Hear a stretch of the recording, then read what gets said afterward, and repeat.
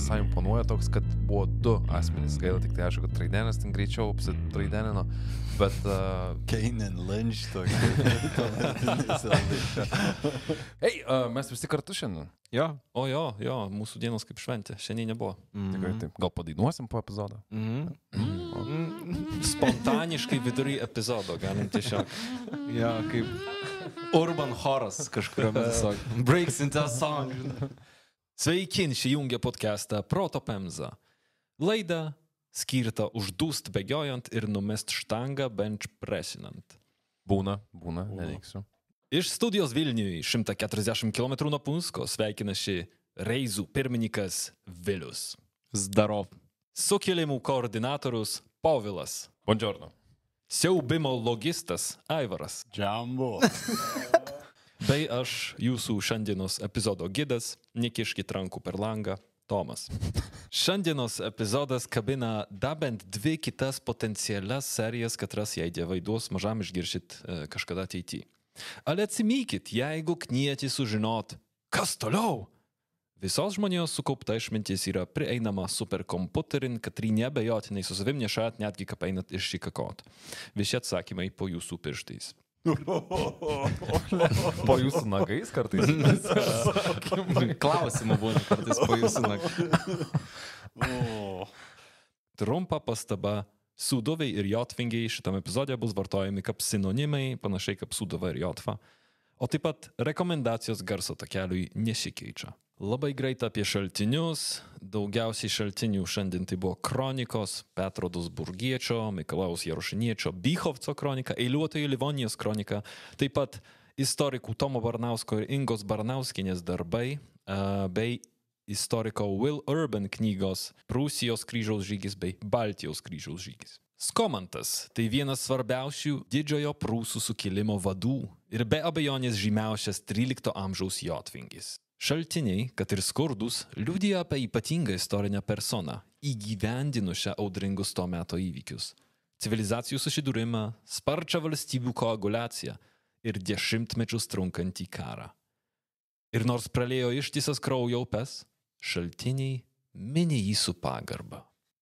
1263 nužudomas pirmas ir paskutinis Lietuvos karalius. Mindaugo žudikus, Treniotą ir Daumantą, Lietuvos didžiojo kunigaikščio funkcijai greit pakeitė Mindaugo sūnus Vaišelga su savo švogeru švarnu. Patikimiausi bičiai pily. Švarnas ir Jo, vaišialas. šva, švarn, švarnas ir vaišelga. Švarnas turėjo būti Makaulį, ne? Taip, taip, švarnas, jo, side- turėjo sidekick. būti toks uh, pinkis. Pinkis? Ai, net atvirkščiai. tada. Jis buvo, jis buvo religingas penkis, netgi pridėkim. Gingas pinkis. Pats blogiausias Jo. penkis kokį. Pinkis kvadratu.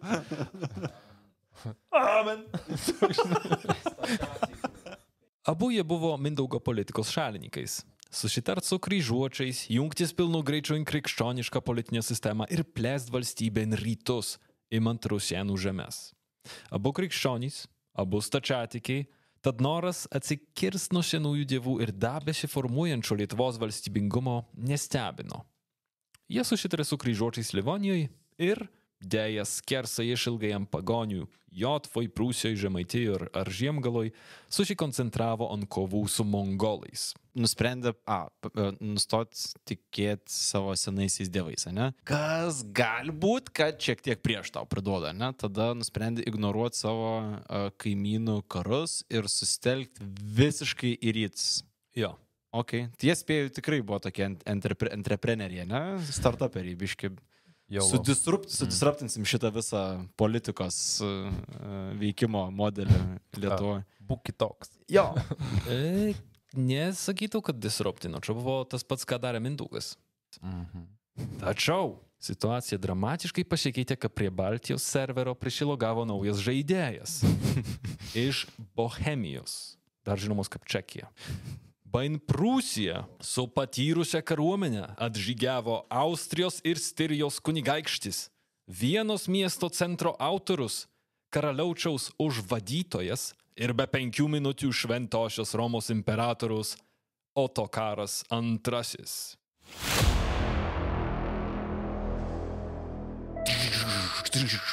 į Reivo vakarėlį. Vokiečiai pasikvietė čekus, o vakarėlio vieta yra Prūsija, ne? Trys su pusė brolio. Trys su laukia. pusė brolio. Trys su pusė brolio yra meeting vietas, skamba turbūt. Kabakas, trys su pusė Prie brolio. autostrados. toks. Uh, Motelis. trys. Kryžiuočiai pasakė Čekijos karaliui, atvaryk, būsim kaimynai, gausi jotvą, tik tai Gerą užkariau. žemę, pažiūrėk. Jo, jo, tik tai užkariau. Ir tavo. Ir tavo. Žiūrėk, gal nori. Nori. Don't mind if I do. Šiaip jau senokai noriu, nu. Taigi jis atvaro su didžiulė palyda ir rimta karauna in Pomerelija, tai yra kunigaikštystė kairiam Vyslos krante. Pomerelija nelabai gerai gyveno su kryžiuočiais, iš tikrųjų tai Pomerelija netgi remia jotvingius jų sukilime, nors patys buvo krikščionys. O gerai užknisę kryžiuočiai turėjo būti, jeigu jau iki tokio lygio. Bet čia jau ta pereinama teritorija, kur pomerelį arčiau kryžiuočių šiaip buvo. Taip, taip, taip, matau. Taip, čia yra impietus nuo Gdańsko. Galim spėt, kad švarnas neblogai iššiko, ale atsimikim Netflixo citatas. El caoso trae oportunidades. Švarnas nusprendė, kad otokaras gali garantuoti jam karūną. Pirma, atsitraukė į saugią poziciją Involinę, o tada šikiu su formaliai dar kunigaikščių Vaišelga pradėjo dėrybas. Ale, ne tik, kad nieko neišsiderėjo, bet Otokaras turėjo visas kortas ir šiaip pats galbūt norėjo karūnuotis Lietuvos mhm. karalium, tai dar prarado lietuvių didikų paramos likučius, nešnekant apie jotvingius. Ir dabar didžiausia švarno nuodėme pastatė ant pralaiminčios komandos. Dėl to, kad Otokaro antrojo ekspedicijai sutrukdė netikėtai ankstyvas 68-ųjų pavasaris. Ką prašo Will Urban? Prūsijos magistras Liudvikas tarė karaliui Otokarui, kad iki pat vasaros orai bus netinkami karo žygiams. Ledas buvo per plonas, kad galima būtų žygiuoti Prūsijos gilumon ir tai būtų šalta, šlapia kelionė, kuri kainuotų daugiau kančios nei atneštų naudos. Je, šalta, bus šlapia, nepatogu. Suprantu, suprantu, suprantu, kad visiškai kitokia Štai karyba, bet per mažai šalta. Ai, pa, per mažai šalta? Jo, nes ledas per plonas. O, per mažai šalta. Tai per mažai ledo, tai per daug Jo, ledo. jo. toks, Kur...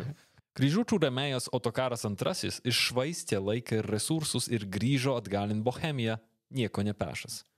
Pakeliui dar buvo priverstas malšyti austrų didikų nepasitenkinimą, tikriausiai tų pačių didikų krauju. Tarp kitko, tai jam kainavo Šventos Romos imperatoriaus karūną. Jis niekad jum netapo, nes susipyko su tais pačiais austrais. Tai pala, jis sufeilino uh, Prūsijoje Jis atvarė ir nusprendė, kad neįs, nes gaila kariuomenės, nes čia vis tiek šūdas gaušis. ir tada grįžinėjo namo ir net Jis su savo žmonėms susipyko. pakeliui. Jo, pakeliui namo netgi Jo. negrįžęs. Ir dėl to jo karjera kaip ir subliūško. Crash and Mm. burn. Crash Wow, and kaip burn. blogai. U, visiškai. Koks feilius. Žiemgaliai, žemaičiai, prūsai ir jotvingiai pajuto progą atsikratyti kolonizatorių.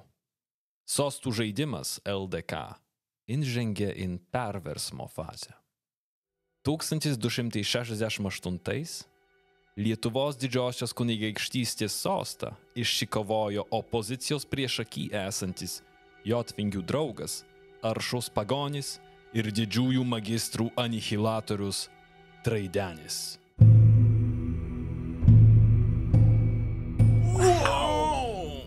Latvijai buvo padarę tokį vos ne didelio biudžeto savo filmą, kuriame, man atrodo, vaidino vienas aktorius, kuris ir Dunkirke buvo vaidinęs. Ir man atrodo, Traidenis ten, jo, Traidenis ten yra pristatomas kaip toks geras Latvijų genčių draugas. kuris- Baldų draugas, Jo, jo, kur atvaro juos, Jo. tipo, kovot, padėti su kryžiuočiais jiem tenai. ir nebe priežasties. Va pavyzdžiui, apie jo politinį instinktą ir talentą liudija faktas, kad jis buvo pirmas Lietuvos didysis kunigaikštis, kuris mirė natūralia mirtim. O, tai bent pasiekimas. Ta prasme, tik bliamo, kaip pagalvoja rimtai. Jo, nu nepapjautas, o apsitriedęs. Jo, tikrai. 33 metų natūralia mirtim nuo. Ne, atrodo, jis kaip apėmė tą sostą, jam buvo kokie kem 8-50 metų, tai jau jis yra tapo vadovu tiek metų. Jo, buvo. kai tapo o, tai išmintingas didžiuoju. kunigaikščiu. Traidenio, taip kaip ir Skomanto vaikystė, tamsi ir miglota.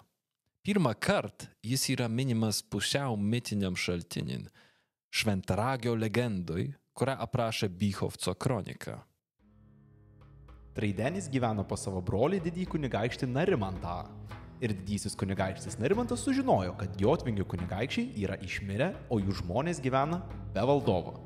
Ir kunigaikštis Narimantas išžygiavo prieš juos ir jie, nesipriešindami jam, pasidavė ir jam nusilenkė.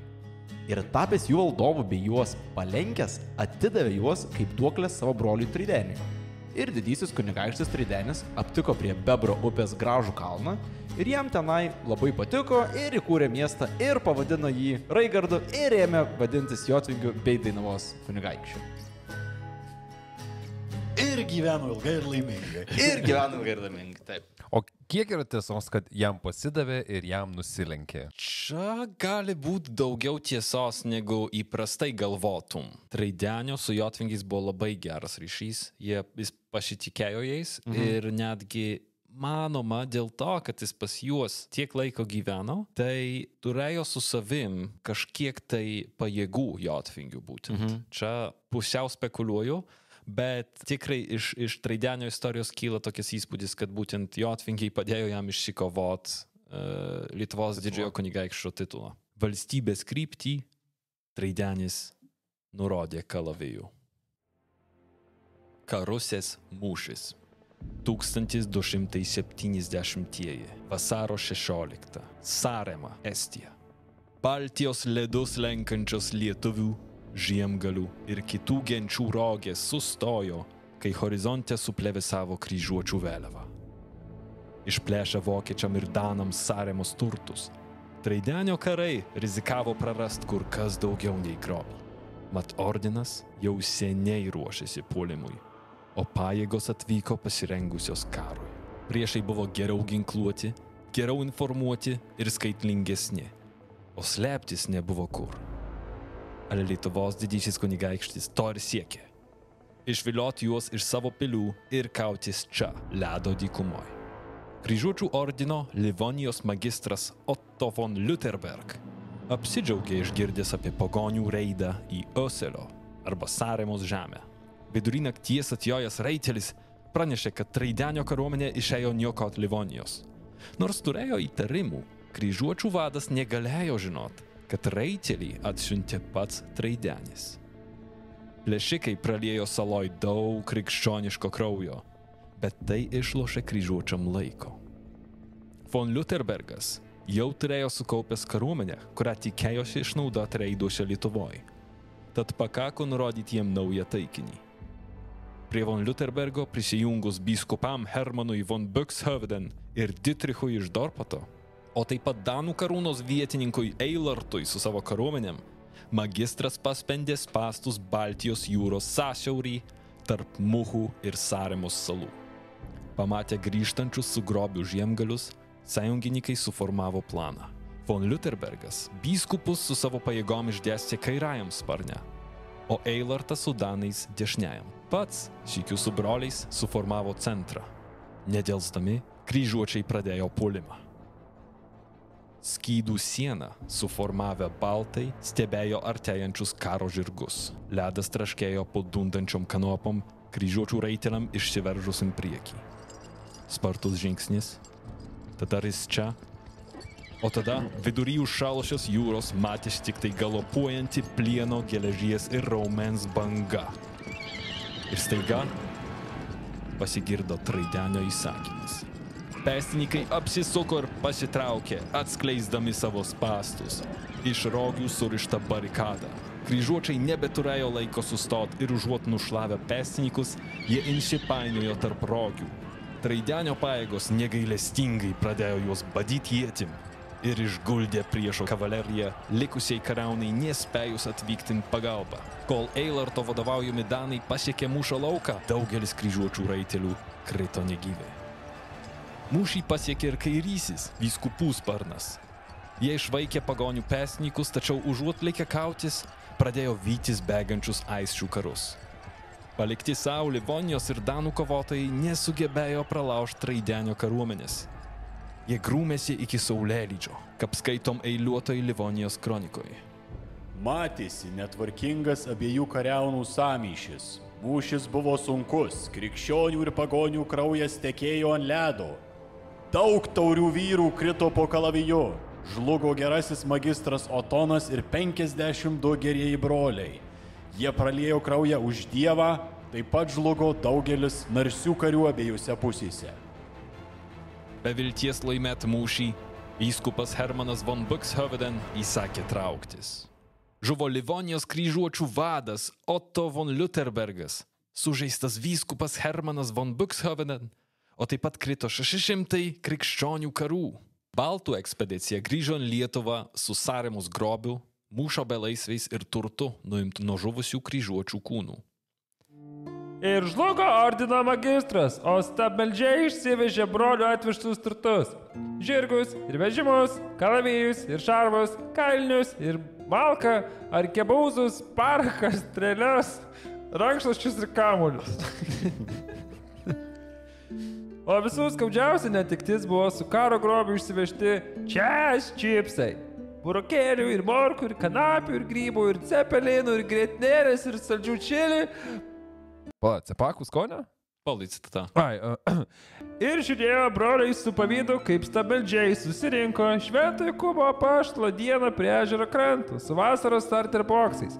Ir išsitraukė iš jų traškučius ir nealkoholinius radlerius. Ir komtūrui sutraukė šikną, kaip pagonys iš rinkinio ištraukė kabolį ir pradėjo su juo žaisti. Bliam, aš žinok, prat gal, kad čia nėra tikra citata. E? Tikrų tikriausia. Tiešiai iš e, kronikos. Kurios Tomai kronikos? Gerų dylų kronikos. Trašk... Traš... Pala, traškučiai ir adleriai kamoliai nieko netrūksta? Ajo, Aivarai. Eik į čias.lt, užsisakyk su kodu PEMZA ir tik šią savaitę gausi 20 procentų nuolaidą viskam.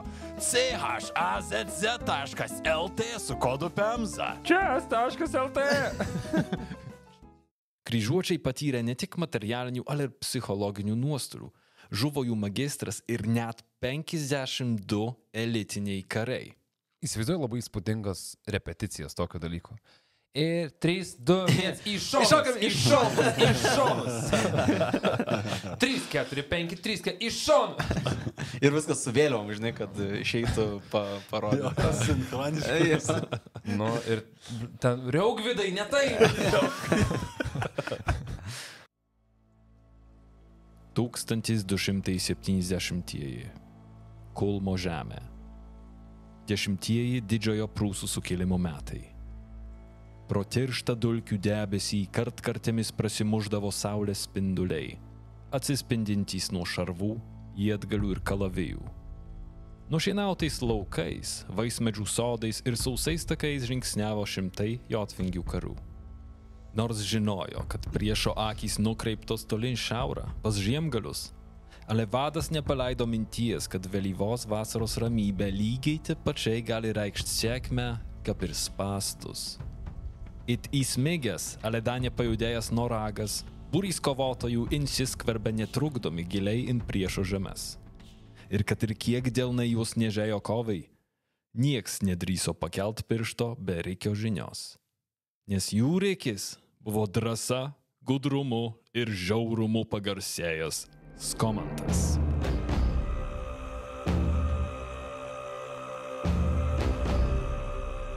Žaibai iš karto. Ricky's komandas. Skomantas The Rikis ar Rikis Rikis Skomantas. The Skomantas? Ricky's komandas. Nu, čia būtų kaip uh, seržantas Skomantas. Okay. pavyzdžiui. Ne kar, Rikis ne karalius, ne? Risky ne. Risky. Risky Ricky. Rikis Komant. Šitaip apie Skomantą pirmą kartą užsiminė Petras Dusburgietis. Skomantas, įsibrovęs su sūduviais į Kulmo žemę, padalijo savo kariuomenę į dvi dalis, kurių viena patraukė prieš Torunę, o kita prieš Kulmo miestą, žudydamos, imdamos į nelaisvę ir degindamos visą, ką sutikdavo pakelėje. Vakarop jie priejo Birgelavos pilį ir ten įsirengė stovyklą. Ta pačią naktį šios šalies broliai su savo ginklanešiais išėjo iš pilies, kai jie užpuolė miegančius karius, kai vienus žudė, o kitus mirtinai žaidė, kilo baisus triukšmas, kurį išgirdo sargybiniai, tą naktį saugoja kariuomenę. Jie skubėjo pasirengę mūšiui ir nukovė du su pusę brolių ir daug ginklanešių. Du su pusė brolių. Nukirto pusę. Ei, gerai, kad ta pusė išgyveno. Buvo trys Lavrinovičiai. Liko du. Su pusė. A, Pilnas kryžiuotis buvo brolis ir buvo dar tie broliukai arba pusbroliai, kurie yra, nu, nepilnas kryžiuotis. Ok, ok. Ar bet du su pusė gali reikšti penkis pusbrolius, matematiškai. Tai uh, da, vienas plus trys dar gali būti konfiguracija. Bet jie atjojo iš kur? Atjojo iš... Uh, Kur- kur nu, baksnot? palei Marijampolę iki pat Vysos. Kaip to? O, čia toli. Ko jie ten nujojo? Kodėl jie įsivėlė į šitą visą... Pirmą kartą komentas atsiranda rašytiniuose šaltiniuose, kad atvaro gilin in Lenkiją, nors ten buvo kryžiuočių tuo metu kontroliuojamas Kolmas arba Heumino lenkiškai, ir tiesiog pradeda viską grobt, plėšt. Okay. žudyt. Tai visiškai Mad Pa, Max. pa, pavelniausiu galvoju. Ta prasme, pasiema savo tuos Nu. šokinėtojus. Jo, jo. Pavasarot. Kol Traidenis aplink Jotvingių žemės atmušinėja priešus, Skomantas tuo metu vykdo užsienio, vykdo komandiruotę Traidenis in šiaurę daužo, o Mhm. Skomantas in... e, pietvakarius. Po karusės mūšio magistro pareigas perėmė Andreas von Westfalen. Vos išgirdęs apie organizuojamą Traidenio žygį į Livoniją, prabėgus tik keliem mėnešiam po fiasko karusiai, Andreas paskubom surinko savo karauną ir išsirušė į Lietuvą. Ką prašo Will Urban. Pasiekęs vietą, kurioje plėšikai buvo matyti paskutinį kartą, magistras nusprendė esą būtina sustoti ir atgauti jėgas vyrams ir žirgams. Jis tikrai savo vyrus ir gyvulius stipriai spaudė ir skubino, kol jiems pritrūko jėgų kovai. Kol jo kariai ilsėjosi vasaros kaitroje, tikriausiai nusėjėmė šarvus, pagonys suplūdo ant jų iš miško. Kovose žuvo Andrėjas ir 20 riterių. 20 riterių, tačiau 20 brolių? Jo, Okay. Jau sumoj turim 70 brolio, ne? Ir du magistrus. Ir du magistrus. Jaiks, kažkur board meetingas vyksta pas uh, kryžiuočius, kažką reikia keisti šitoj. Kryžiuočių krizių valdymo centras. Kažkaip šitą. primena kažką. Negali su šiandieną. Ne, Jo, kažkaip nelyginti. Turėdamas sunkumų regeneruoti atsargas, pakeist žuvusius brolius naujais rekrūtais ir papildyti ginkluotę, ordinas buvo priverstas keisti strategiją Prūsijoje. Vietoj didelių karo kampanijų jie perėmė partizaninį pagonių metodą. Vėlgi labai panašu į dabartinius tam tikrus 13 amžiaus taktikas taiko. Bairaktarai, žinai, sakalai. Akmenis tiesiog. Keliasdešimt šimtas vyrų giriomis išvykdavo į netikėtą išpolį prieš izoliuotą pasienio postą ar mažesnę vietovę. Kiekviena pusė patruliuodavo savo sienas su nedideliais, panašių pajėgumų, ginkluotės, drąsos ir gebėjimų turinčiais būreis. Karts nuo karto įvykdavo smulkesnės kavalerijos šaržos, kad įrodytų, jog kryžiuočiai vis dar pajėgus kautis mūšyje, tačiau kaštelionai vengia akistatų. Jie žinojo, kad laikas jų pusėje ir pastiprinimai galų gale atkeliaus. Nei viena pusė neturėjo išteklių nugalėti kitą ir karas vilkoši bjauru poziciniu tempu. Jau ke- kelinta paralelė dabartiniam konfliktui tarp uh, Rusijos ir, ir Ukrainos. Jeigu kryžiuočius dėtume kaip, kaip Rusija, nepraranda daug generolų, keičia taktiką savo į partizaninį pasipriešinimą, perimdami taktiką tų, kuriuos puola, tada viskas perina į pozicinį tokį tampimąsi. Po to, kad žuvo antras Livonijos magistras, dar kad būtų panašau, Prūsijoje kryžiuočiai nusprendė, kad dabar turės vieną magistrą suvienodis vadovybę abiejų. What the fuck? Ei, uh, Traidenui dar tik patogiau, reikia nebe daug magistrų nukristo šitą vieną. Taip pat Redenis Zelenskis taip išėjo. Tai tada yra šitą vietą. Jotvingi ir prūsai tęsė reidus ir sukilimą, ale kryžiuočiai apsiginklavo kantrybę. Su savo pilim iš plytų, gerai aprūpytais laivais ir iš vakarų plūstančiais kolonistais technologinis ir ekonominis pranašumas priklausė jiem. Pergalingas karusis mūšis ant ledo davė postumį ir skomantui. Anksčiau minėtas Kulmo žemės nusiaubimas te buvo repeticija prieš sėkmingesnį ir didesnį sequelį. 1272 12 didžiojo prūsų sukilimo metais Skomantas minimas Dusburgiečio kronikui jau kaip visų sūduvių vadas. Kiek čia laiko praėjo nuo... Nuo ankstesnio Mhm. du metai. O Sarė, žygis jau iš Sarėmos vyko paraleliai a, žygio į Kulmą? Daug maž paraleliai. Taip. Okay. Skomanto iškilimas šitoj vietoj daug nereikia siejamas su Traidenio įnėjimu. Dabar Traidenis valdo Lietuvą, Žek, jis yra Jotvingių draugas ir garantuotai žinojo asmeniškai Skomantą. Kuris tuo metu yra Jotvingių vadovas. Jotvingių suduvinis, mes naudojam kaip sinonimą šitą. Okay. Ir jie tarpusavį netgi koordinuoja veiksmus, nes U, ok. jeigu e, Jotvingiai kartu su, e, su Bartais, su e, Galindais, su Pagezenais atakuoja Prūsijoje, Pageze yra nuo daugmaž Elbingo iki e, Liubavo pietuose. Gezas niekur nedingo iš e, pa, pagezės, tai... Pagezės skamba kaip labai purvina kūno vieta kažkur. Pa. Pagezė.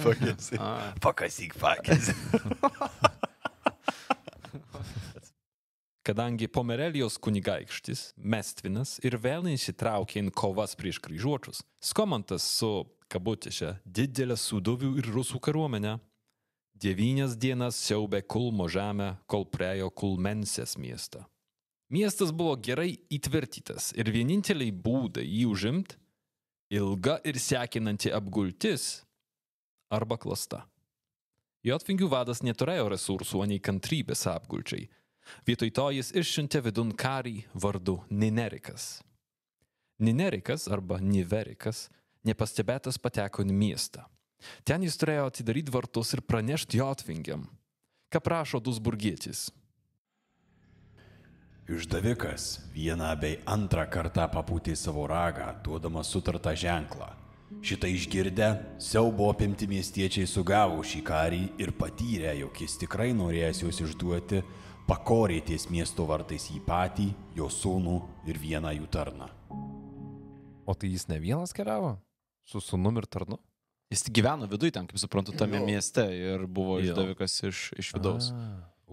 Ir čia noriu pastebėti, kad jis buvo didikas. Čia tokias įdomus tų santykių su užpoliais, mhm. su kolonistais, su krikščionim pavyzdys, kad atrodo lyg ir elitui priklauso, lyg jau kri kristianizuotas, bet nusprendžia, kad ja, fuck it, aš, aš, aš su anais noriu būti. Mhm. Ir gal žinai, jaučia, kur pučia, pučia vės. Čia įdomu, pabandykime įsivaizduoti aplink Kaliningradą, Karaliaučių ir Lenkijos pietinę dalį. Nu, Visiškai rytprusis buvusius, ne dabar, kai, kai, kai žiūri. Šiaurinė Lenkija. Šiaurinė Lenkijos dalį, atsiprašau. jo. Link Vyslos. Jo, ir, ir jeigu tai yra koordinuota ir tam tikri dikai žino šitą, šitą visą manevrą, tai čia potencialo pergalį su tuo pincerio uh, Manevru. manevru jo visai, uh, visai yra.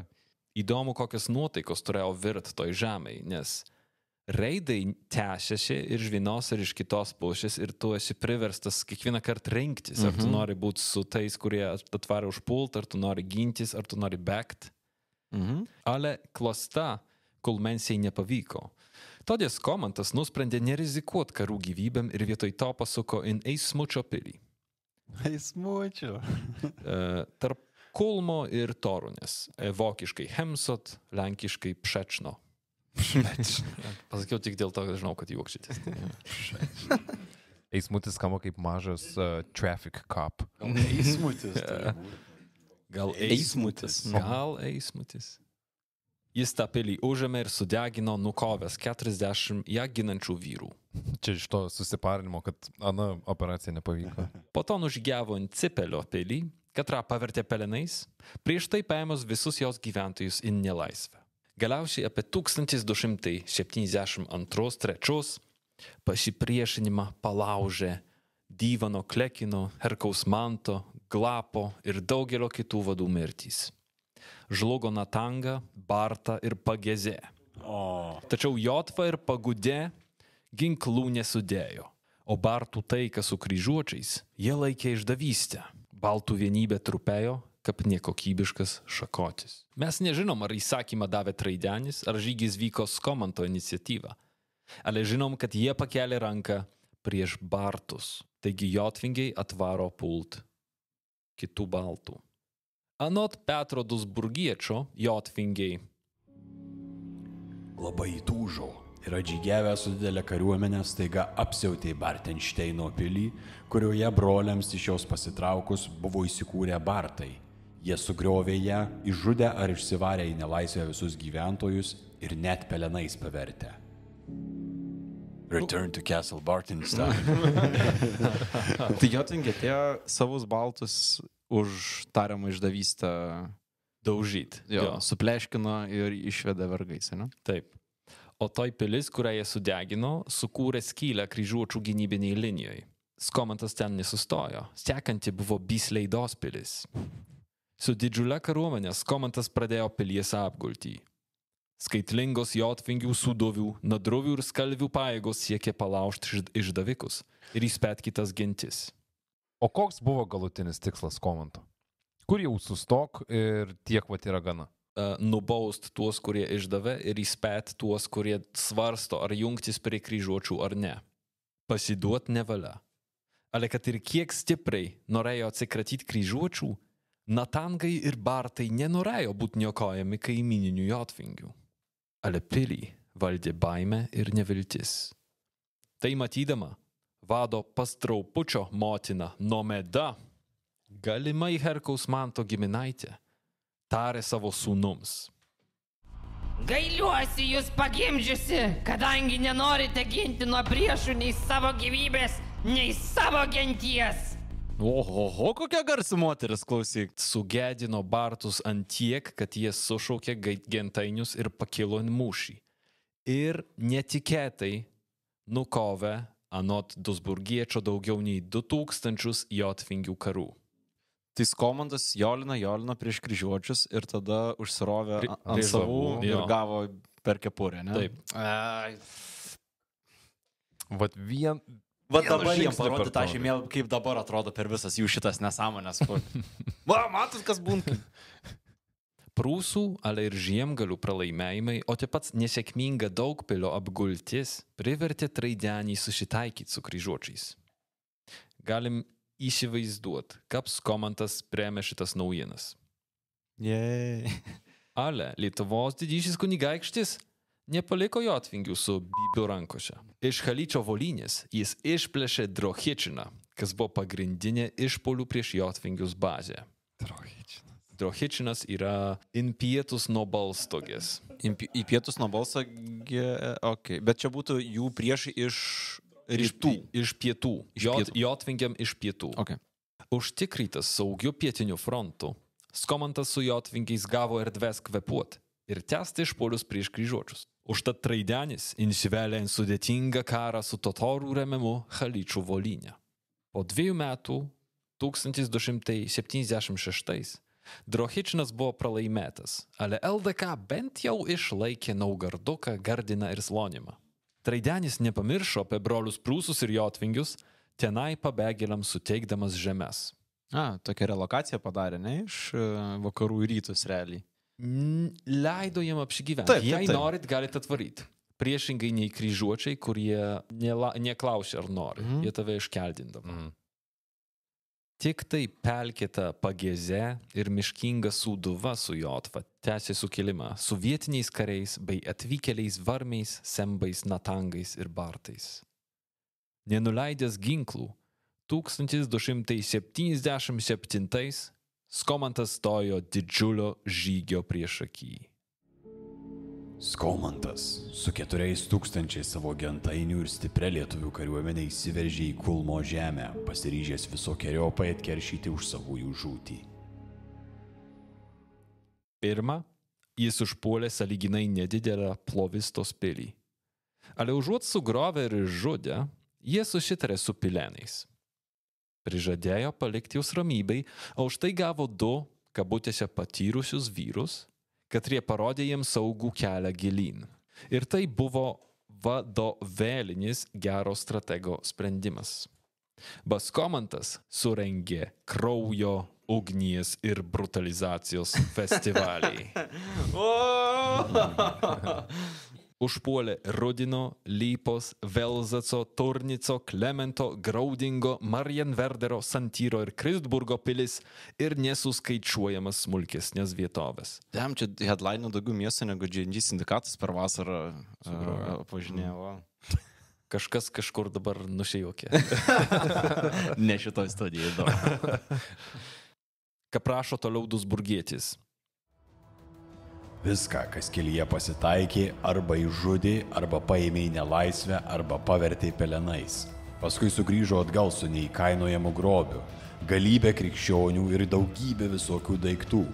Nei vienas išmintingas žmogus negali be ašarų galvoti apie šios kariuomenės padarytus blogus darbus, apie baisingas Dievo tautos kerdynės, apie išniekintus bažnyčios sakramentus bei jos tarnus.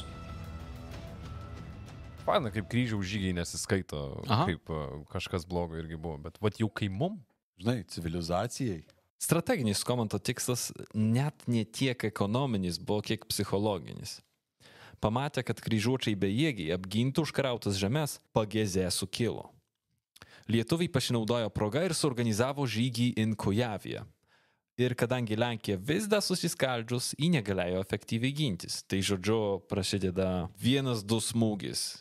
Jotvingiai, o tada Traidenis in, mm -hmm. in vakarus varo. Kryžiuočiai išsigando, kad visiškai praras kontrolę. Ir ką jie padarė? Pirmas dalykas - atlaisvino represijas ir krikščioniškų doktrinų priežiūrą. O, tai čia iš tikrųjų, žinokit, netaip jau reikia, melis. Na, tokios rekomendacijos labiau nei taisyklės, dešimt dievo rekomendacijų. bažnyčios varpus piški pritildė. Dešimt patarimų. Kryžiuočių strategija buvo pamažu nukaraut paskiras gentis, o tada iškeldyti ten gyvenančius žmonės, paverčiant juos baudžiaunikais. Kryžiuočiai suprato, kad nenukaravę Jotvos ir Suduvos, jie niekad nebus saugus. 1280-ieji. Žiema. Brolis Konradas iš Tirbergo buvo patenkintas ekspedicija.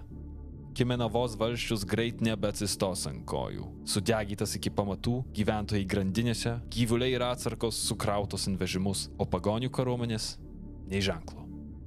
Jūs lydėjo Dievo malonė, bet dar svarbiau - pusantro tūkstančio raitelių. Už, visai daug. Kryžiuočių karauna pasiekė mišką. Ir tada, kaip graustinis pasigirdo 3000 gerklių reikimas. Sudoviai puola.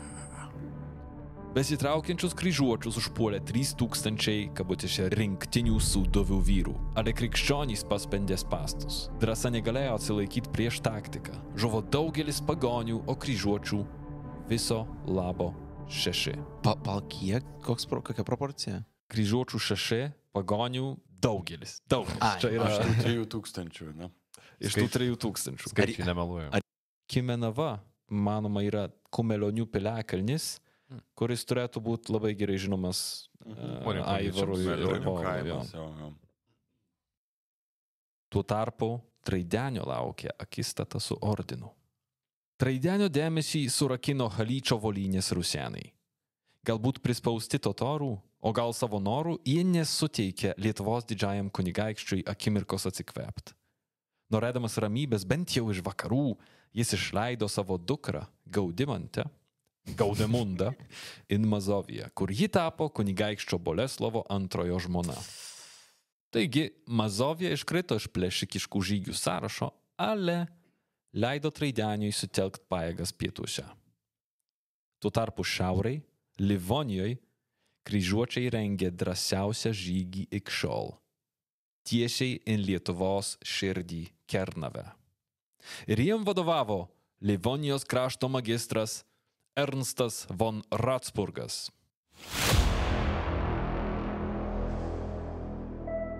Aiskrauklės mūšis. 1279. Kovas. Livonija. Vežimai su grobiu jau pradėjo skirstytis. Kas in kuršą, kas in žiemgalą, o kas toliau, kai magistras Ernstas kryžiuočiams ir Danus vadovaujančiam Eilartui įsakė budrumą.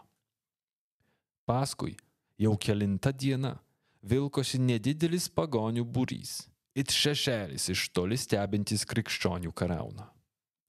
Jų buvo per mažai, kad išgazdyti jungtinės ordino pajėgas, ale sąjungininkai, kuršiai, žiemgaliai ir lyviai atskilo nuo pagrindinės kariaunos ir judėjo savo keliais. Magistras nusprendė laukti. Pagonys greit pasitrauks, o jo riteriai ir taip turintys pranašumą savo kovinę rikiuotę ir šarvais išgazdys priešus. Tačiau anų tik daugėjo, supratę, kad mūšis yra laiko klausimas. Krikščionys puolė pirmi. Eilartas, atsimenantis dar skaudų pralaimėjimą karusiai, išjojo raitelių prieš akį. Danų kavalerija nušlavė lietuvių karus nuo paviršiaus. Išsigandę, pagonys puolė bėgti iš mūšio lauko, o Eilartas, nedovanodamas nei vienam, persekiojo juos į niršas, su noru išpjauti juos iki paskutiniųjų. Tuo tarpu už nugarį likę kryžiuočiai Sikiu su magistru Ernstu buvo apsupti. Traidenio kariauna užpuolė juos iš visų pušių. Tai matydami, žiemgaliai pabėgo iš mūšio lauko iki vieno, palikdami sąjungininkus spastuose. Kryžiuočiam tai atėmė žadą, o lietuviams suteikė dar daugiau drąsos. Kryžiuočių baime peraugo į paniką, kai krito jų vėliava, o su ja ir Livonijos krašto magistras Ernstas. Trys. Numeris 3. Tuoj daktaras susi- susiveiks, jeigu taip e, magistras kolekcionuoja. Eilartas su raiteliais pamatė, kad situacija beviltiška. Tarp jo ir išsivadavimo stovėjo šimtai keršto ištroškusių karių. Matydamas tai, jis sušuko savo karam. Mano valia, kad ištikimai jotumėt šalia. Į triumfą arba pražudį. Danų raiteliai skynėsi kelią kaip per sviestą, ale viltys pavirto dūmais. Eilarto žirgui žlugus nuo smūgių. Numestas Danų vadas nespėjo pakelt kalavijo, mirtinai sužeistas ten, kur krito. Pražūtis laukia ir kitų. Šitiep traidenio sąskaitai atsidūrė trečias kryžiuočių magistras ir dar 71 kryžiuočių brolis. Žiemgaliai pabėgę iš mūšio nesužeisti, turtingesni ir geriau patyrę, vėl sukilo prieš kryžiuočius. Čia kiekvieną kartą tas pasitikėjimo būsas. Minute. Mes irgi galim kažką padaryti. Lietuvos didysis kunigaikštis atsijėmė visas žemės prarastas kryžiuočiam per paskutinius šešis metus. Tačiau Prūsijoje lietuvių vienybės ir organizacijos nepasiekė, vakarų baltai pamaži užleisdinėjo vietą ordinui. O tai jie po mūšio susirinkdavo visą grobį, taip šiandien, taip? E, jo, kas likdavo, tai žinai, ten kokia brangesnė įranga, atsargos, žirgai su vežimais, Bet mhm. jie net nelabai žinojo, ką ima. kaip, kaip suprast. Na, netikrindavo visko nuodugniai prieš pasiimdami. Na, tiesiog pasižiūrė, ar vežime yra maistas, ar, nežinau, ratlankį ir imdavo viską. Nu, jo, tikriausiai. Tai priešas galėdavo, pavyzdžiui, palikti užnuodytą maistą. Jo, net nežinau, ar pavyzdžiui, vežimas nėra daužtas, arba žirgas neturi kirmėlių. Dabar net nežinai, ant ar, Ar, arklio. ar mėšlo nevežiai kokio Ar mėšlo tai. nu, ant arklio. Kur tu savo šeimą neišsis- norėsi vežioti paskui Nu. nu. sekmadieniais. Ant arklio pagalbės ar neišsiskleidusios, žinai. Ar neskendęs vežimas. Nu, ką tu, žinai. Nu jo, šitą prasme jie atsiliekė buvo. Ale šiandien. Pavyzdžiui, turim tokį car vertical. Car vertical. Su jom gali patikrinti, ar mašina, katrą planuoji pirkti, ar nebuvo daužta, ar neprasukė odometro, arba, pavyzdžiui, ar nebuvo paimta kaip karo grobis. Mhm, mhm, mhm. Bet jie turbūt šūsnį dokumentų atsiunčia, tai kam, kas čia norės vartyti viską? Popierius niekam nebereikalingas. Nope. O vat ir ne. Nu, yra reikalingas, kaip prispaudžia. Ne, bet tu užpakalinis savo lydą. Ar su atmintuku gali? Iš Car Vertical popieriaus negaušit už tai, kad jie pašeima duomenys iš nacionalinių registrų, iš draudikų, iš mašinų gamintojų, iš aukcionų ir taip toliau ir panašiai. Ir sukuria paprastą, patogų raportuką, netgi su nuotraukom. O, šiandien tai labai svarbu. Tai dabar tikriausiai ta dalis, kur... Carvertical.lt Su kokiu... Su kodu PEMZA gausite 30 procentų nuolaidą. Palasakėjai. Carvertical.lt su kodu PEMZA. PEMZA. Carvertical. Carvertical.lt Kryžiuočių ordinas, miškas po miško, laukas po lauko, išplėšė pagonim jų žemės. sutruškinę sembą, palaužę natangą, papirkę bartą, vokiečiai pagaliau pasiekė Sūduvą. Skomantas, matydamas situaciją, mėgino stumti karo liepsną kuo toliau nuo savo žemių, kuo giliau in priešo, tad su karauna jis išvyko in Sembą, kur grobė ir plėšė nestabdomas dešimt dienų. Čia gerokai toli nuo savo. Pas jį atvaro priešai, o jis prie jūros nuvarė, ne? Taip. Jo. Su šeima į tą vežimą įsivertęs, viską. Kamuolį paplūdėmio, skėtį. Ne, tai vietoj kamulio galva kokio kryžiuočio. Tiesiog. Vien iš tų magistrų. Ale kryžiuočiai užuot gynę ką tik pacifikuotus plotus, patys išsirengė į ataką. Ir jų taikiny atsidūrė nervas palaikantis trapų visą sukilimo audinį - Kresmenos valščius. Kresmena buvo paties Komanto būstinė. Ten buvo ne tik Skomanto šeima ir giminės, ale ir daugelis kitų genčių didikų. Tad 250 raitų kryžiuočių, it alkani šunis užuodė kraują, iškeliavo sėt siaubą. O jiem vadovavo legendinis teplevos komtūras, pusiau pašelęs kryžiuočių brolis Ulrichas Bavaras. Teplevos. Tepleva vokiečių vadinama tapjau, o dabar labai, e, mano nuomonė, negražiai skambanti gvardeiskas. Gvardeiskas. Ar kuriam, kurioje šalyje dabar yra? Nu, kuri šalis pavadytų Gvardeisku. gvardeisku? Ne, nu, tai tiesiog Baltarusija, Rusija. Dabar yra karaliaučiai. Mhm. Nu, tepleva ir man labiau patinka. Nu, kai alternatyva gvardeiskas. Ulricha von Tapjau gaubė reputaciją. Jis garsėjo savo drąsa neretai panašesnė į pamišimą. O iš raštų iškyla religinio fanatiko vaizdas. Mykolas Jarošinietis Prūsijos kronikoje rašė, kad Ulrichas netgi gavo įsakymą iš didžiojo magistro nustot tiek daug kovot. Kitaip sakant, pats genocido prezidentas paprašė jį pristopuoti. Berija toks. Jo, jo, jo, wow. Ką, ką reikia daryti viduramžiais, kad tau sakytų, kad jau šiek tiek reikėtų. Stokviški. Jo. Bent porą dienų palsėk. Nu. Mm -hmm. Man, man, man tas gifas su Danny DeVito, kuris taip krato galvą, ne, ne, ne, ne. Taip tai nedarom. Ir tuo pačiu Denė Devito gifas, kur. So anyway, I started blasting.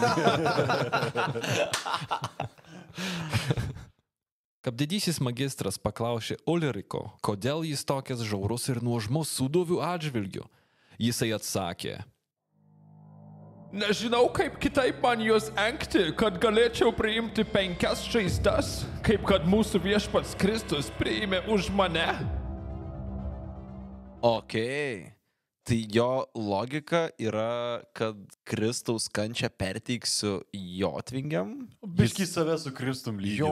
vicekristus toks. jo. Ok. Ir jis nulatos varinėjo ant visokius rizikingus mūšius ir žygius už tai, kad jis norėjo tų penkių žaizdų. Oh, damn. O čia tokie patys baisiausi yra, ne? Religinis susireikšminimas.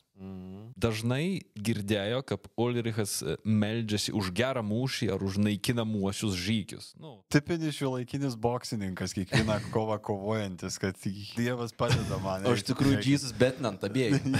jo. Ulricho Bavaro vadovaujami kryžiuočiai sudegino Kresmenos pilį, apiplėšė sodybas ir išsivarė 150 aukščiausios vertės belaisvių. Žygiuodami atgal, vokiečiai suskilo ir dalis jų pasiklydo. Tokiam pasiklydusiam būrui vadovavo būtent Ulrichas. Ir jį iš pasalų užklupo Sembos raidą užbaigęs komantas. Ai, ai, ai. Ai, Ar, ar kvepia ketvirtų magistrų? Uh, where's your god now? Ulrichai. Jotvingiai sumušė juos ir pagaliau patenkino taip e, ilgai ieškoma Ulricho svajonę, tai yra penkias mirtinas žaizdas kryžiaus forma. Hey, jūs, uh, Singlorious bastards. visiškai. Skomantas nelaisvent paėmė kitą jauną vokiečių riterį - Liudviką von Liebenzell. Dusburgiečio ir Jarošiniečio kronikose Liudvikas rodosi kaip vienas tų šykį ant milijono žmonių kad jis pats vienas beviltišką situaciją galėdavo paversti laimėjimu. Tikrai tokias Winning. Nelaisviai po Skomanto sparnu Liudvikas greit susidraugavo su Jotvingių vadu. Iš Prūsijos žemės kronikos susidaro įspūdis, kad draugystė buvo nuoširdi ir abipusė. Abipusė. A, sorry, abipusė. Liudvikoj esant belaisvis, Skomantas nusivedė jį į kažkokią tai pagonių sueigą, galimai religinio pobūdžio, kur buvo daug kitų vadų. E, Istorikas e, Bielonskis epizodą vadina kabutėse girtokliavimo renginiu. Kaip ir daugelis kitų renginių. Ale, ale pabrėžia, kad tai buvo e, religinis girtokliavimo renginys. Ne bet koks. Tikrai geriau. Kažką jo. aš spėčiau arba Joninės, arba... Arba mišios. Arba ne. Aš, aš liks tiesiog, aš įsivaizduosiu, kad yra vasara, labai šviesu ir šilta. Tai šią vasarą, kai prišausi daug alaus, tai galėsim pasakyti savo. tarpusavy. pasivaikščioti. Čia religiniais tikslai, tai yra. Alkoholinis renginys. Komantų. Komantų, taip.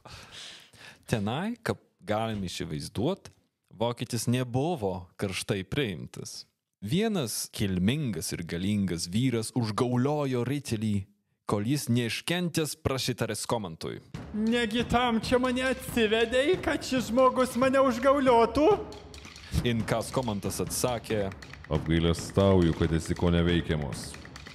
Jeigu drįsti, atsikeršyk už tau daromas nuoskaudas, o aš tau padėsiu.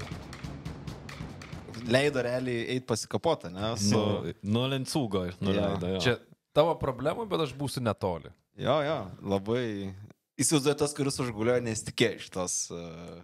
Arba kaip tik, jau jam niežėjo rankos. O ką žinot, to metu užgauliojimai, kaip lietuviški keiksmažodžiai buvo? Kokie blizgus šarvai pas patį buvo. Būna vyriškų. Tai išgirdęs, Liudvikas nešudmaliavo, jisai stojo kovon, žvangėjo kalavijai ir Jotvingis už įžeidimą sumokėjo aukščiausią kainą. Gregor Bielunski mano, kad šitie vokietis galimai pasitarnavo skomantui, papjaudamas jo priešą. Palauk, tai papjovė jo atvingi. Jo, bet gal jo čia koks konkurentas, čia labai gera taktika turėti vieną tokį, ne, kur eik užmušk šitą, išprov- išsiprovokuok kaip nori tą konfliktą, man reikia, kad tu jį užmuštum, arba gali pats vien stylinti su visais tais jo atvingis aplink. Ei, bet čia ultras smart būtų, jeigu toks. Galop von Liebenzell paspruko, išlaisvintas komanto tarno. Reiškia, žinant, o netgi pritarant e, pačiam Jotvingių vadui. Tu turi labai, nu, didiką vokiečių, tu už jį gali daug pinigų gauti. Ir jis jį Ir tiesiog... paleisi jį atgal su visa informacija, Jo, kurią jis ir jis turi. jį išleidžia. 1282. Lietuva. Tamsa ir pyktis užplūdo Jotvingių vadas Komantas, sužinojus, kad didysis Lietuvos kunigaikštis Traidenis negyvas. Traidenio kėdę pasėmęs kunigaikštis Daumantas nebuvo nei Jotvingių, nei Mazovijos draugas. Žinodamas, kad jam ir jo kariam vietos gardinė nebeliko, Skomantas grįžo į senas valdas. LDK įsmuko į tamsų į laikotarpį, apie kurį rašytinių šaltinių beveik nėra. Nors valstybė nesuskilo ir neįsivyravo chaosas, kaip po Mindaugo mirties, ale iš karų su Novgorodu šiaurai, bei nusilpusių konfliktų su kryžiuočiais galim spręsti, kad kunigaikštis Daumantas pakeitė Traidenio laikų politinę kryptį. Vakarų Baltus, Žiemgalius ir Žemaičius paliko patiems savo. Kartas nuo karto žygiavo plėšti Lenkiją, ale apie Jotvos atgavimą net negalvojo. Istoriko Jan Povierski žodžiais. Galime įtarti, kad Skomanto santykiai su Lietuva buvo ne patys geriausi. Galbūt jis nebuvo aprūpintas pakankamai gerai, kad išlaikyti aukštą socialinį statusą. Galbūt Skomantas dalyvavo vidaus politikos žaidimuose po Tridenio mirties ir palaikė pralaimėjusią pusę. Faktas išlieka, kad Skomantas paliko Lietuvą, o paskui jį iškeliavo iš pagėzės anksčiau pabėgę Bartai. Ir jie iki pat šiol gyvena Junktinėse Amerikos valstijose. Tai Bet, ei, Bartai nebuvo jo suluošinti tada? Dalis buvo, bet jie nebuvo suvieninti. Ten buvo nepriklausomų laisvų žmonių žemės. Libertarai tikrai. eini, jo, jei nori, eini su skomantu, jei nenori, nei ne. Dalis norėjo dalyvauti sukilime, o dalis parsiduot kryžiuočiam. Tai Povierskis tada čia sakydamas, kad paskui jį iškeliavo, tai nesivijo, o iškeliavo kartu. Jo, iškeliavo kartu. Pirmai, kai spekuliavom, kiek skomantui galėjo būti metų tada, tai čia jau jis 40 plus turėtų būti. Čia jau jis net Toks- vyresnis. Turbūt. vyresnis, nueinantis į horizontą toks uh, pavargęs. 1283 metais kryžiuočiai pacifikavo Sūduvą. Ordino magistras Konradas su didžiulė karauna perėjo per Baltų žemės kaip viesulas. Tai pamatęs vienas jotvingių vadų, Kantigirdas ar Kantigirdas, Either way. kartu su 1600 karių pasidavė kryžiuočiam. Pakrikštyti jie visi buvo iškeldinti in Sembą. Ir jį pakrikštyti prikalbino Kantigirdo karo belaisvis, tokias jaunas vokiečių riteris vardu Liudvikas von Liebenzell. Kažkur, Kažkur girdėta. girdėta, ne? Tai jis Liudvikas antrą šyk tą patį padaro. Jis sugauna kaip karo belaisvį, tai jisai susidraugauja su tuom, kas jį Winning. sugavo. Yeah. Ir maža to, jis dar atveda in pas kryžiuočius tą didiką su 1600 karų, visi pakrikštyti ir sako, žiūrėkit, va, aš jums atvedžiau. Prasme, diplomatas, rekru, rekrutuotojas, kaip, kaip turi būti. Vos spėjęs grįžti, suniokotas savo valdas Kresmenoj, Skomantas vėl buvo priverstas gintis nuo kryžiuočių. Ordinas nedavė jam jokios progos įsitvirtyti ar atstatyti kariuomenę. Be vilties, kantrybės ir jėgų. Senas karys ir buvęs visos Jotvos vadas, narsušis Skomantas, pasidavė. Nepaisant hekatombos, katrą Jotvingis suruošė krikščionim, kryžiuočiai jo nenužudė. Liudvikui von Liebenzell tarpininkaujant, Skomantas ir jo kariai priemė naują dievą. Baisus apetitas Skomanto talentam ir žiniom leido pamiršti Jotvingio nuodėmes, o dovanota žemė, didiko statusas ir amnestija pasaldino Jotvingiui kartų krikšto poskonį. Mm, čia toks įdomus plotvistas visai yra, kad e, pacifikavo jį tiesiog, nenužudė, pasiėmė, kad nepadarytų iš jo to herojaus kažkokio, kaip su herų komanda tikriausiai padarė. Tai pa-. Ir vieną dievą. Protinga, Ir vieną labai. dievą turėk. Nu, Jo. vieną. Ypač, kad jis matė, kad šitas dievas jis gal iš tikrųjų galingesnis. Žiūrėkit, mūsų dievai mumi ne, neduoda išlošti. Mm. Mm. Tai įsivaizduoju, kad jeigu, kaip minėjai, proper karys tikriausiai galvoja dar ir apie savo likusius karius, ne, mm. su Mhm. kuriais buvo. Tai nesinori, kad visus išskerstų dabar, nes jis labai principingas čia. Ir turėjo tris sūnus dar, Jo, ir- irgi buvo. Tai ir moterų yra, yra, kuo, yra kas rūpi dar, ne? Jo. Ne. 1285. Gardinas. Žirgo prunkštelėjimas ištraukė Skomantą iš transo, stebint tūkstančius karų besikeliančių į kitą Nemuno krantą. Pagal nurodymą jis stojosi į vietas - šalimai esančią kalvą, klonius ir laukus. Aukštos sienos, grėsmingi bokštai ir aštrus ginklai saugojo gynėjus nuo tūkstančių Skomanto karų. Ale Gardinas prieš jį paslapčių neturėjo.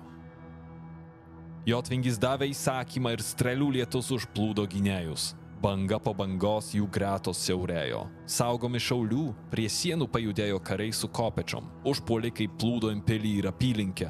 Apgaubė kraujo ir dūmų kvapas. O pilyje vyrai pjovė ir kapojo viską, kas juda. Užvirė tokia žiauri kova, kad bailesnieji nė nedrįso ją žiūrėti. Vieniems drąsiai puolant, kitiems atkakliai ginantis, viena ir kita šalis neteko daugybės karių. Kryžiuočiai pagaliau įsiveržė į pilį ir palaužė jos gynėjus.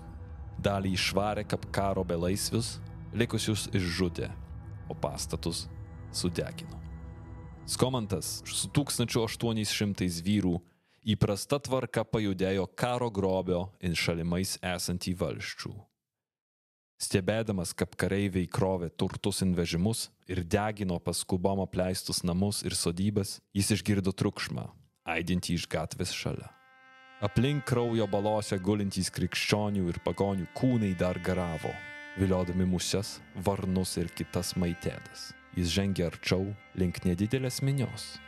Prasiskverbęs pro juokų ir piktdžiugą virpančius stebėtojus, Jotvingis išvydo paskutinės didžio Bartų vado gyvenimo akimirkas. Surištas, sudaužytas ir perpjautas, jis žuvo plėšomas savo paties šuns. Sudraskęs jam kairį į šoną, išplėšė iš kūno širdį, nusikaltusią galybę išdavyšių ir klastų, ir ją daugybės krikščionių akise surijo.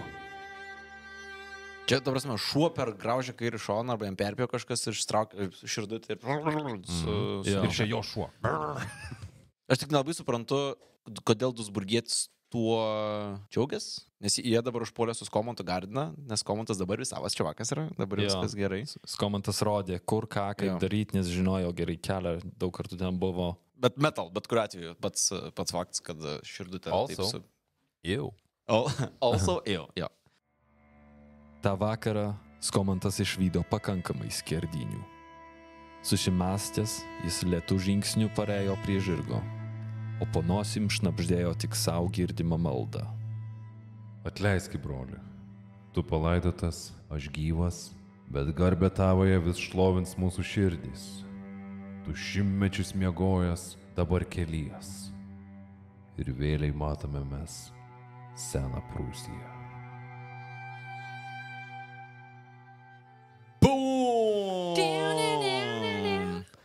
Nu, pripasakai čia Tomui Mhm. dalykų nežinotų, tai aš kokią pasidariau išvadėlę dabar iš viso šito, kad Herkų mantą suvarė vokiečiai, kryžiuočiai, ane, o Jotvingių vadovą, kurį e, galėjom turėti kaip ir turėjom kurį laiką, Lietuvienę, kaip savo sąjungininką, pats sugadinom su Daumantu savo. Nedavė, nedavė statuso, e, kokio norėjo jisai tikriausiai, tai jis nusprendė, fuck you, jolo, ir perėjo į kitą pusę. Ir vėlgi gali tik e, leisti e, vaizduoti, pasilakstyti, ne, kaip atrodytų, jeigu Tridenis gal kiek ilgiau būtų pagyvenęs arba jį sekęs vadovas būtų išlaikęs tą sąjunginį kažkokį ryšį su, su jotvingiais. Damn. Įdomu, kai jis jau baigė savo dienas, e, ar buvo, nežinau kokia tiksliai ta situacija buvo tuo metu, kai jis mirė, ne, bet ar su kartėliu, nes jautė, kad kovo visgi, visą, gy- viso gyvenimo kovo savo pralaimėjo galiausiai.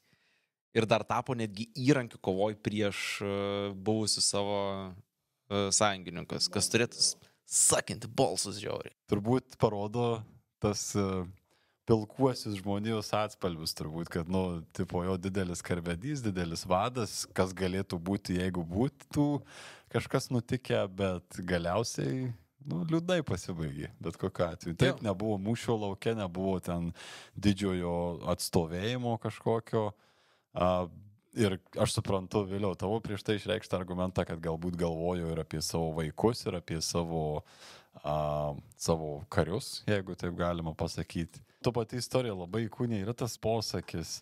You either die a hero or live long enough Jo! to see yourself become a villain. Jo, jo, become a To monster, ieškojai? Kažkas, jo, jo, kažkas to. Nu, tai yra durna gal frazė, bet šiuo atveju įsipaišo šito istorijoje ir labai ją įkūnija. Nu, Vat, o man šitas elementas, kad jis perėjo ant kitą pusę, kad jis gal, galo pasidavė tiesiog. Jau šitas, jis visą gyvenimą kovoja ir jau, jau nepaėgia. Jau Nu, negali. Man padaro į tokių žmogiškų. tai tai, ne? su kryžiuočių dalim nebuvo toks, nu, didvyriška persona. turbūt. Tikriausiai. Karvedys 13 amžiuje. Pasirodys komandas toks uh, get shit done uh, žmogus, kuris tiesiog ir atrodo ir varė. Bet uh, visa ta situacija su pasidavimu kažkaip kerta per visą evoliuciją jo karjeros ir visą jo mąstymo, tą progresą tokį kažkokį. Vis galvoju, ar jisai jau pasidavęs ir prieėmęs tą naują tikėjimą, ar jisai galvojo, kur jisai paslydo ir ar jisai galvojo, kad, nu, norėčiau tikėti, kad jis nematė savęs kaip tokio didžiulio pralaimėtojo, pralaimėtojo kaip a, aš turbūt jį mintysės tuo pasidavimu ir O greičiausiai, kad. Jo, jo, aš taip pritarčiau. Čia irgi nėra tai, kad aš čia dabar visus, uh, nenoriu, kad manęs komanto fanai uždaužytų. Žinoma, Aš irgi- kaip aš- jau, o, jau su ufologais turi priešų, tai atsargiai. Aš irgi vaikas, Komanto fanų klubas. vienas iš tų kelių, kurie pasirodo kaip žmonės. Ir galbūt vat, būtent dėl to reikėtų jį dažniau prisiminti.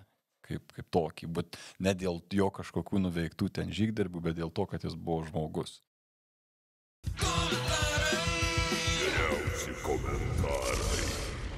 Numeris 3. Vaitkus su pederastė. Tikras vyras. Čia tu apie save? Norėčiau, bet dar netoks vyras. Dovydas iš Vaitkūnų. Dovydas ir Dovilė. Jo. Dovydai, bravo, nešidavai intraukiamas in, in, in Dovilės Provokacijom. Jo. Visom nepasidavė. manipulacijom. Kas buvo, kodėl su pederaskė? Ta prasme, Ten buvo nuotrauka, kur Vaitkus stovėjo. ir jis A, ir buvo su su Pedraske. Pedraske. Okay, okay. Ir- Okay, ačiū, kad... Ir kitas Vaitkus pakomentavo tą faktą. Jo. Na, bet, ei, uh, Vaitkus Vaitkų pažins, ne? Nu, matai, tokios. Kibo giminės gal.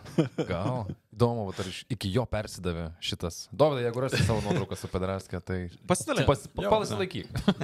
Gali būti, kad esi pederaskių mados uh, išradėjo pirmtakas, tai irgi neblogai. Mm. Gal ten jų šeima yra tas e, vyriškumo ritualas, kad įteikia, kai jau esi vyras, įteikia tau pederastkę. Jau ne berniukas, jau. O tai berniukui būtų kibirėlis su odiniu tokiu tuo. Jo, jo. Mažiukai nešiojas tokius. Knygutę susidėti. Dovydai ateik. Numeris 2. Kokią paramą rinktis, į kurią įeitų galimybė atsisėsti Aivarui ant veido? Urte iš internetų. O aš tai net nežinau, ką į tai pasakyti. Čia turi kolegos nuspręsti, koks yra paramos lygis. Aš tiesiog dar nežinau. Man reikia irgi turbūt pasirengti, nes aš dar ne, ne, nesu panašus visai į Arturą Melaknį. Tai... Vienas bairaktaras būtų kaina. A ne, aš sakyčiau, trys mėnesiai yra dvilos tierė. Tipo. I mean, Ta, vat, iš ko ir draugus pažinsi, taip sakant. Na, Aivarai, ta prasme, aš matau čia kaip klasikinę win-win situaciją šitoje vietoje. Aš kažkiek labdaros norėčiau įnešti šitą, bet jeigu... Pabūsi pirmasis atsisėdęs, Apšildysi.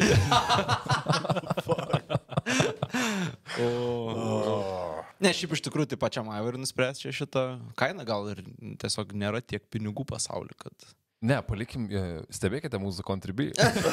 Ja, se- sekit Instagramą. Tikrai pasi... pasidalinsim. Ne, pirm, pasidalinsim pirmu uh, tas drive. Labai malonu žinot, kad paklausa yra. Galbūt. e, Jo, jo. O kur yra paklausa? Yra ir pasiūla ilgai. Tai, tai urte nesustok klausti. Ir ilgainiui. Ten- matyt, bus Kas matyt. Michaelas Koto sakė, kas, kas baigė pasiduoti po trijų bandymų? Taip. Numeris 1. Pagarba Tomui, kad skaito archeologų pezalus. Tik latenizuotos Vitkūno tekste reiškia ne lotinizuotos, e, tai yra patyrusios romėnų įtaką bendruomenės ar kultūros, o įtakotos keltų nuo lateno, latene, archeologinės kultūros, kuri tapatinama su keltų kultūros paplitimu. Lukas iš YouTube. Lukai, tep tu man įspūdį padarai su šitom komentaru. Žinok, pagarba visų pirma už tai, kad mane pagerbei. O, o visų antra, kad pagavai klaidą. E, labai, labai gerai, džiaugiuosi. Tikrai darau tų klaidų, visi mes darom.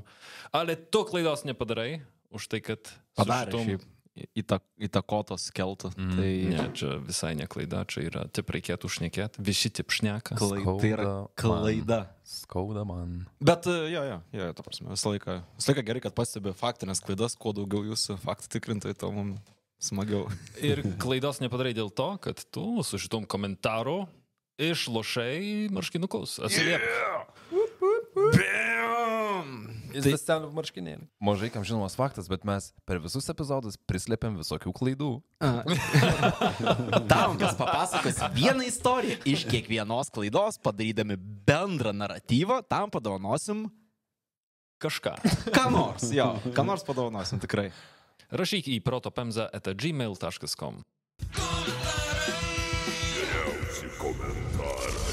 Kažkada ateityje, dabar reikia palsėti nuo šitų 13 amžių, norėtų tokį detalesnį didžiojo prūsų sukilimo pagvildent klausimą, nes ten irgi buvo daug daugiau, ką Herkus Mantas išdarinėjo, ką Dyvanas Klekinas išdarinėjo, nu ten tokie nemažiau godrus ir epiniai mūšiai, kuriem, nu fuck, jeigu būtum turtingesni arba kai jau įvaldysiu Unreal Engine 5, tai Kursim žinau, žaidimą. kursim filmą, serialą, jo.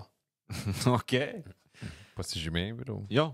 Tai jau Netflix'e ant tiek neprisiskambinam, kad patys valdysim technologiją. Turėsim savo Netflixą su mm, hookers and booze. Tai ačiū Jums. Ačiū tau. Ačiū Jums. Ačiū. Ačiū Ačiū. mums. Ačiū. Nepamirškit įsijungti mūsų už poros savaičių. Turėsim, uh, neatskleisim epizodą kokį galą, bet galiu pasakyti tiek, kad bus plaučių karamelės ir šašų nemažai. Mm. Toks juodai Tai- geras bus epizodas, man atrodo. Jo, Bet čia nebus čipsų reklama. e, Šašų skonio. Mano mėgstamiausia. Jo. Uh, nepamirškite apsilankyti ir pas mus Facebook'e tikriausiai ir Instagram'e. Ir pažadam, kad nors pagaliau papostinti jau tenai. Uh, Ateikit in Ką- Contribui, papildomo turinio, daug, daug, daug, gerų žaurai. Geriausius bairus kartais iškirpam. Ir dedam būna. ten, jo. Kartais būna. Jo, jeigu negirdėjote tikrai. komposto, jūs tik tai pusę mūsų esat girdėję. Tai Kartais pamatyti galima mus tenais pasivaidenom Jo. video formate. Ir aišku, Taikosi. ką šneka Lenkija. Kažneka. Kažneka Lenkija. Tas Rau, raudų siena. Juokiši per ašaras. Postai, kur, žmo, kur atsiranda žmonės, kurie nerūpėjo Lenkijai niekada, bet jie atrado, kad jie turi nuomonę apie ją, man atrodo. Jo, jo, stebėkit, dėl viso ko gal rašyt kokį kunigaikštį mazovį, kur dukra savo išleis gali. Kad nežinai. Iki. Iki. Iki. Didžiausias ačiū mūsų kokteilio tyro remėjams. Padėkoj, haiku, alyvų kvapas ir paukščio giesme puošia Jotvingio kapą. Ačiū.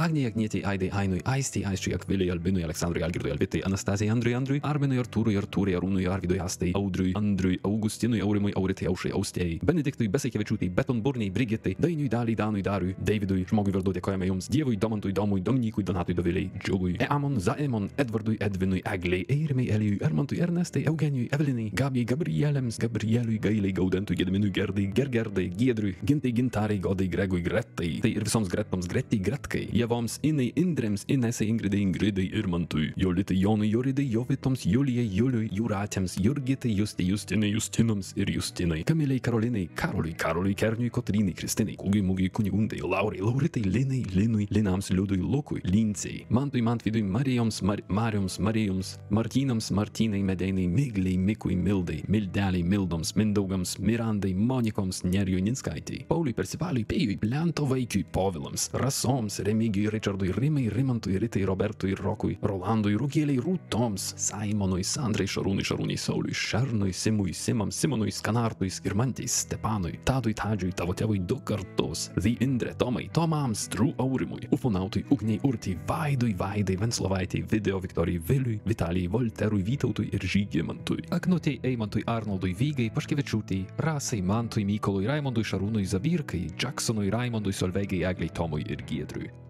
Ačiū.